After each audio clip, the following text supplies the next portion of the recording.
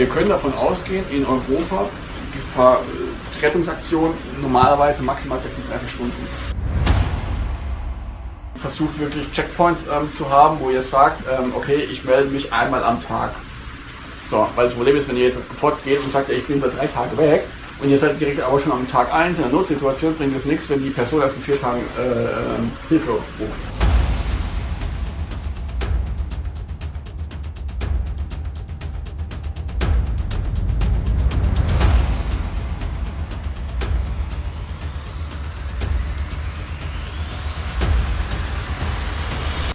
Notrufzentrale. Bitte suchen Sie 1,5 Kilometer südlich Ihrer Position die Schutzhütte an der Moosalbe und warten Sie dort auf Rettung. Over.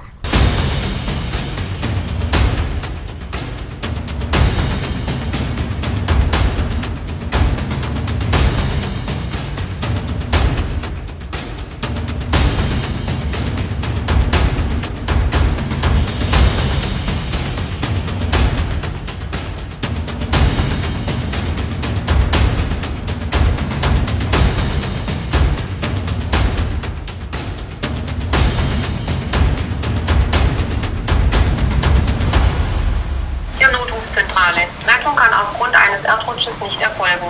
Bitte suchen Sie in der Hütte nach nützlichen Gegenständen und folgen Sie dem Fluss auf der Ostseite Richtung Norden. Wir kontaktieren Sie, sobald wir eine neue Möglichkeit zur Rettung gefunden haben. Over. Ja, keiner Rutsch. Fluss Was haben die gesagt? Fluss auf Fluss der Ostseite Ostseite. Richtung Norden. Sollen wir suchen, oder? Sollen wir gehen? Nur mit den Folgen.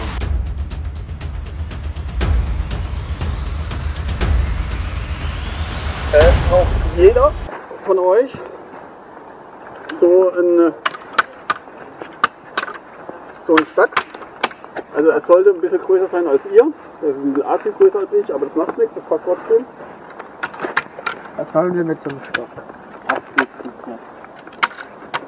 Okay, also ähm, Flussdurch, Flussdurchquerung, genau das, was wir gerade eben gemacht haben, das Video nicht, das ist auch genau das richtige Vorgehen. Das heißt, man guckt erstmal am Ufer, okay, wo kommt man überhaupt am sinnvollsten durch, wo ist es am sichersten, ähm, was ist unser Ziel, was müssen wir ansteuern, welche, wie sieht das Gewässer aus, ist es schnell fließend, ist es langsam fließend, ist es tief, ist es flach, äh, sind Steine drin, ähm, wenn Steine drin sind und die sind mit Wasser bedeckt, ist die Wahrscheinlichkeit wieder extrem hoch, dass es rutschig sein kann. Ähm, einfach, dass man das, das Gewässer schon mal ein bisschen einschätzen kann, ja, um sich ein bisschen gedanklich auch darauf vorzubereiten. Jetzt hier an der Stelle ist es ähm, das Wasser wahrscheinlich nicht wahnsinnig tief, aber sehr sumpfig und ein bisschen blöd zum Durchkommen, weil es ziemlich stark zugewachsen ist. Ja. Und ähm, wenn wir durch ein Gewässer gehen, gibt es eigentlich ähm, so knapp drei Methoden. Also die Möglichkeit Nummer eins ist, ist die beliebteste eigentlich, man nimmt sich so einen Stecken und nimmt den nicht so, wie ich ihn halte, sondern genau umgedreht und führt den dann quasi als drittes Bein ähm, so ein Stück weit ähm, vor sich her. Man muss aber jetzt dazu sagen, die Flussrichtung würde jetzt halt von hier nach da fließen, sodass ich immer sehe, was mir im Gewässer ähm, entgegenfließen kann. Und damit taste ich mich da so ein Stück vor. Wenn ich stabilen Stand habe, dann laufe ich einfach ein bisschen wieder weiter, sodass ich einfach nicht, äh, dass ich mich hier auch ein bisschen reinlehnen kann, damit ich ähm, nicht weggespült werde. Dafür ist es natürlich wichtig, dass der Stab auch ein bisschen stabil ist. Gell? Also jetzt hat nicht irgendwie Nehmt nicht den dicksten, sodass ihr den nicht mehr vernünftig umgreifen könnt. Nehmt nicht den dünnsten, ähm, dass der sofort durchbricht. Nehmt keinen morschen. Also der hier ist für mich jetzt eigentlich ziemlich optimal. Ich hätte ihn auch nochmal hier ein bisschen ablenken können. Wäre jetzt auch kein Problem gewesen. Dann hätte er eigentlich auch die perfekte Länge. Ähm, da könnt ihr mal gucken, da, hier liegt ganz viel Totholz in der Gegend rum. Ihr habt ja eine Säge bekommen von mir, da könnt ihr mal gucken, was ihr habt.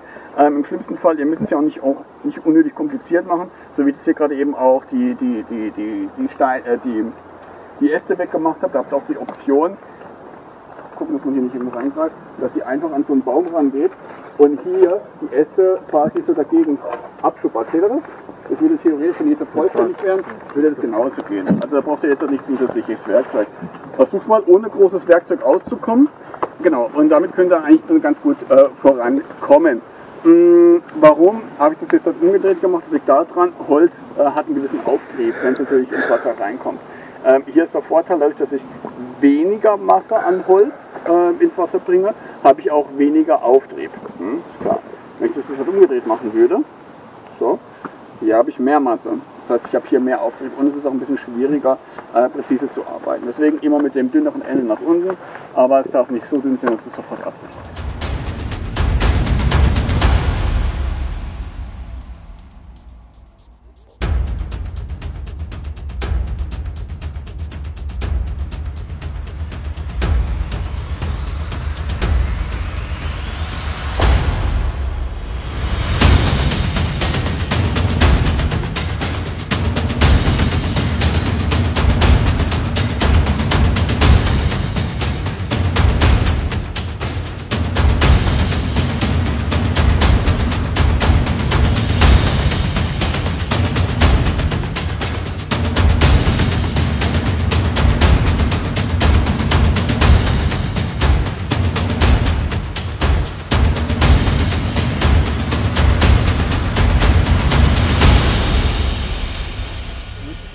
Immer feuerfrei.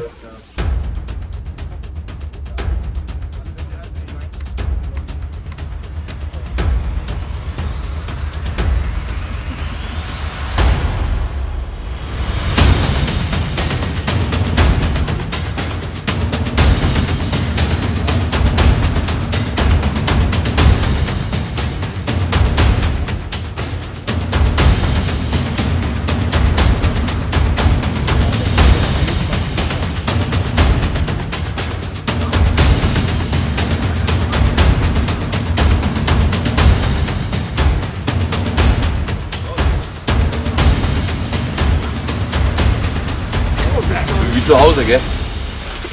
Ah, nicht ganz, aber Aber so mit den Latschen, ich will jetzt wieder heim.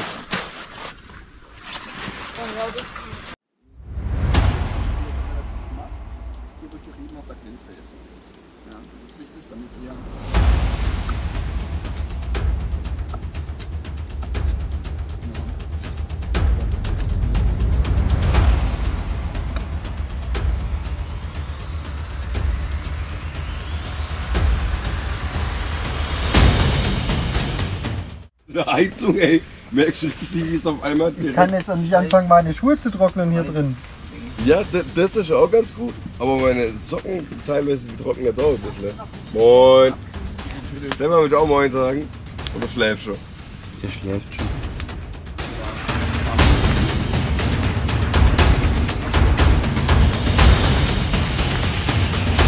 Du weißt noch, wie es geht?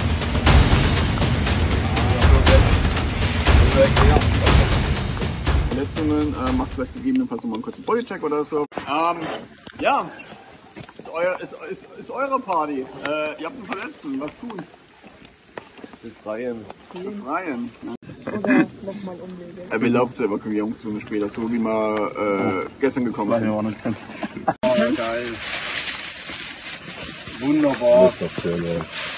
Ja, ist immer noch rutschig. Vorsicht, da steht ein Mensch.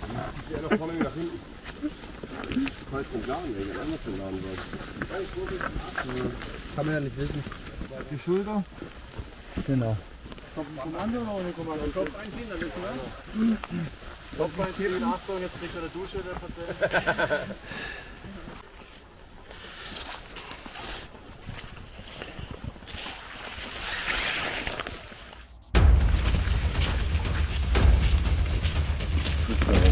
よま